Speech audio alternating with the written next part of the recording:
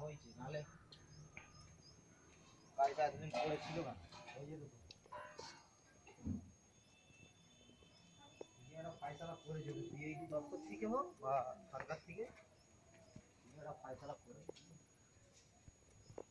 কেরালিগুলো কাঠ কেরালিগুলো তুলছি। হাসরাও ভালো